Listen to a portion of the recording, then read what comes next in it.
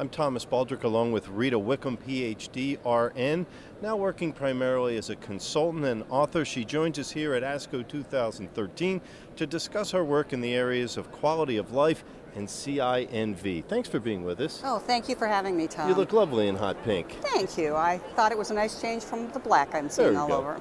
Let's let's start with a, a look at what CINV is.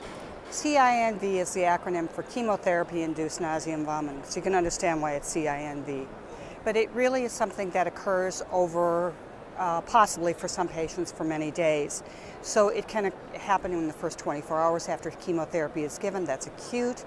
You can have delayed that as the subsequent 24 hours to five days, six days, even 10 days for some patients, and their nausea is worse than vomiting and you can have breakthrough. If people aren't managed well, they can have anticipatory. So it's a very complex issue.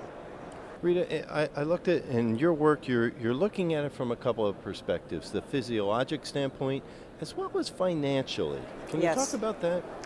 Well, physiologically, um, I've been interested in this area for a long, long time. In fact, the first paper I published was in 1982. At that time, I was wondering would anybody inter- be interested in that topic, and I've just maintain an interest. So in terms of the physiology, we've learned a lot, uh, particularly since about the 1980s, we've learned much more in terms of how it happens. We know it's complex. Uh, we know it involves multiple neural inputs, um, and because the nervous system is characterized by plasticity, you have to you have to target more than one pathway because there's more than one way for an important message like vomiting to get into the brain, uh, the area of the brain that controls this. So, leave it to needless to say, uh, we've learned a lot about uh, sites of action. We've learned about neurotransmitters and receptors. Those are things that we can now target with new drugs, um, and we've come a long way. When you talk about financially, what's happened is while we have become a lot better at controlling CINV for 70 or 80 percent of patients.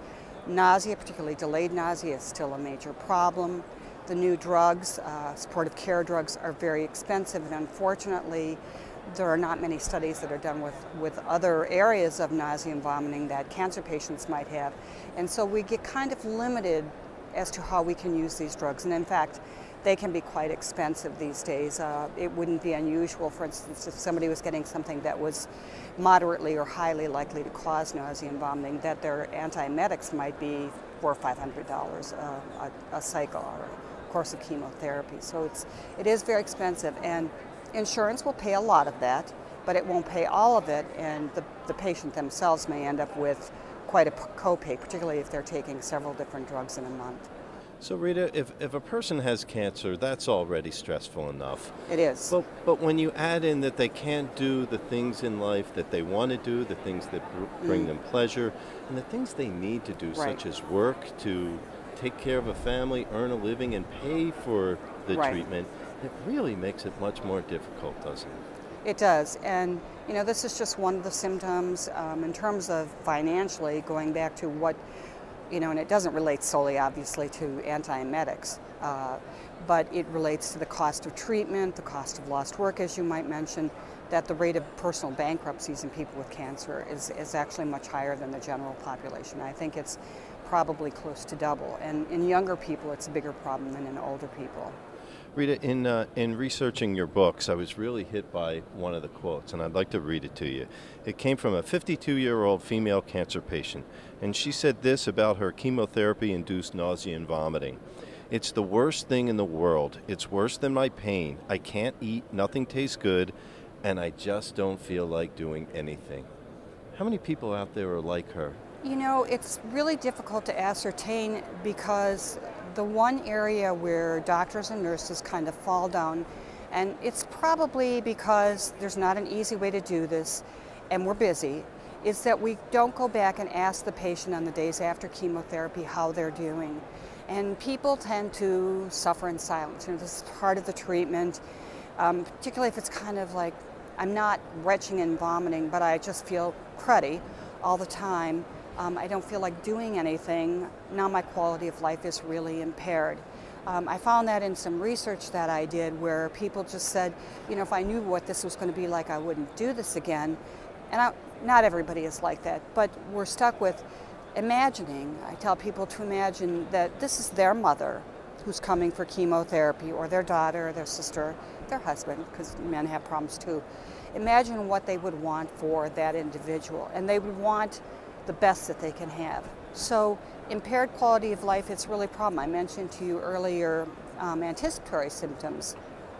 If somebody nausea and vomiting, not well controlled, they can develop food aversions, they can have anticipatory symptoms that are really, they're evoked by, you know, a smell. Um, I walk someplace and I smell an alcohol wipe, a nurse wearing a particular perfume, which nurses don't do anymore.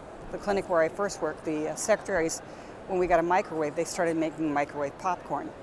Microwave popcorn, the smell of popcorn, people became averse to. It just made them feel nauseated. And so that sort of becomes um, associated with the emotions of having nausea. And that can last for a long time. It can last for 10 or 10 or 12 years afterwards, and that's as far as we followed people. So it's a real major problem in terms of quality of life effects.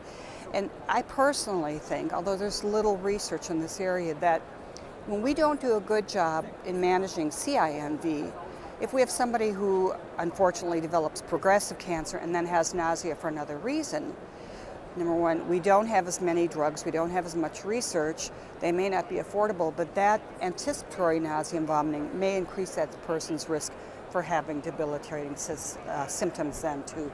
So it's really something that we still need to pay attention to. So, what are best practices with CINV? We have over the last, oh, at least 15 years, there are uh, three major organizations. ASCO is one of them.